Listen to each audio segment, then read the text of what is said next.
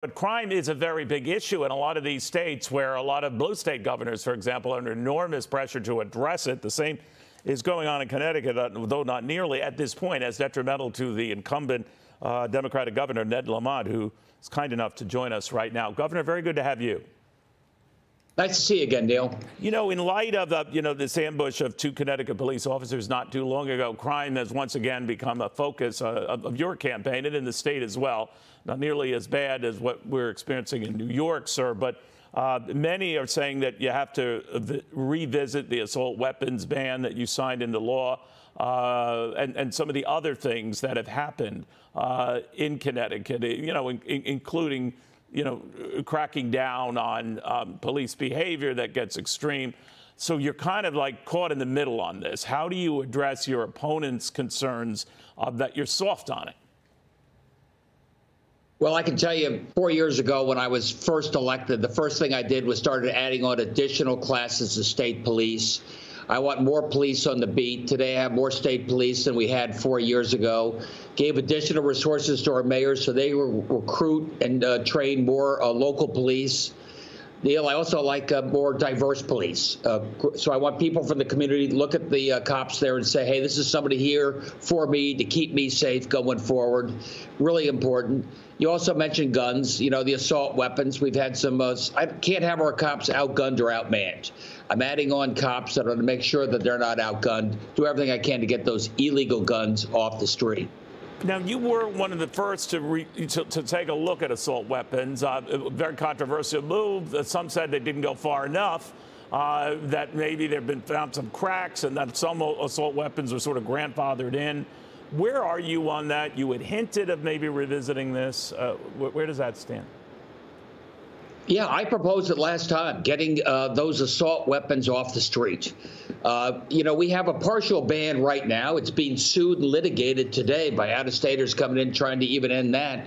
We have about 80,000 uh, assault weapons here in the state of Connecticut, legally done, given certain exemptions. I would like to get them off the street, Neil. Um, let's step back from this. I, uh, you have a comfortable lead in the polls. Anything could change. I tend not to get fixated on these, Governor. I'm sure you don't as well.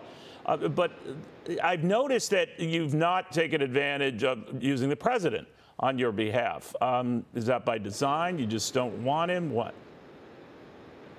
No, he um, he has come here before, celebrating the fact we have the biggest expansion of daycare and childcare. He's welcome, but I'll tell you something. You know, I'm a governor. I don't need a lot of out-of-state people coming in. I kind of like to. Uh, Connecticut to stand on its own two feet. They know what I've tried to do for the state. First business guy in this job in 40 years, a slightly different breed of cat, and um, I'm happy to run on that record.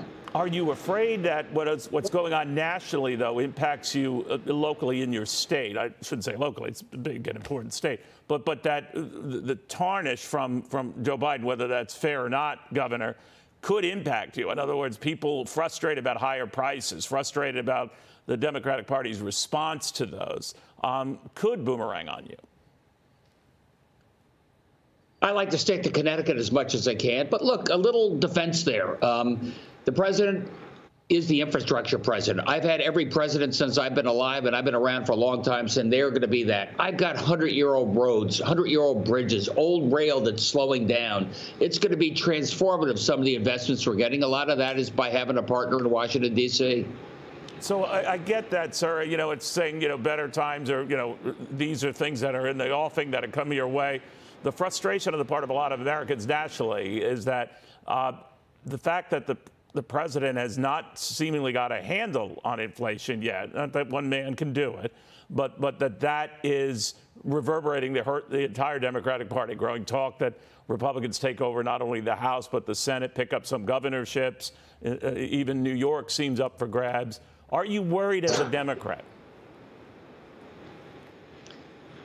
Look, inflation is slamming the middle class. I hear that every day wherever I go. I know what that means. Then the question is, all right, Governor, what have you done about it?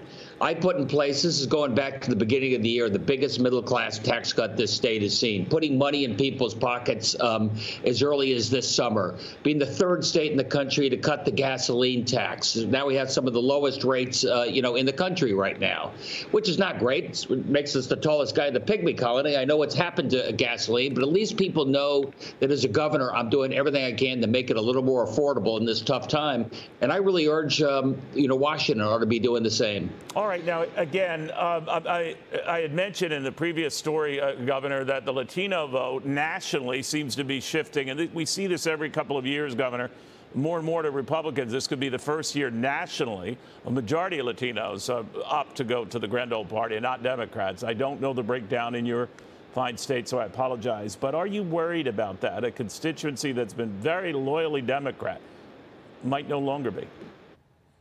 Well, look, I look around the country, but I can tell you about Connecticut. Um, when I talk to all communities, in particular the Latino community, one most family-friendly state in the country, making sure it's easier for you to have a child here when you're ready to have that child, affordable daycare, all the things that give them a head start, very important in that community.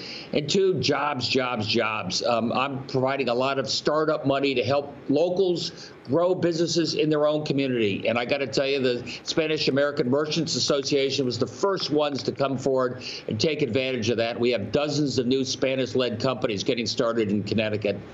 So, uh, finally, I'd like to get your sense of the, the, the mood, certainly in your state. And right now, you seem to be well liked in your state. Again, to your point, you know, you don't, nothing's final until election day. Uh, I am wondering about the back and forth between the parties and how this sets up the next election, the presidential election. Growing talk that Joe Biden should not be at the top of the ticket, that he's too old, that the party should look for fresh blood. What, where are you on that? And then I heard that uh, Donald Trump's ready to throw his hat in the ring in a couple of weeks. Um, you know what I do, Neil? I stick to my knitting right now. I can tell you that Joe Biden has been a good partner for me when it comes to infrastructure, when it comes to daycare, and a lot of the things I'm doing to get people back to work. If I have number one, two, and three priority is get people back to work. I've been able to provide free bus service for the last nine months. Just easier for people to get to and from work. That helps on inflation, helps people get back to work. Those are my priorities for the next uh, four days and, frankly, for the next four years.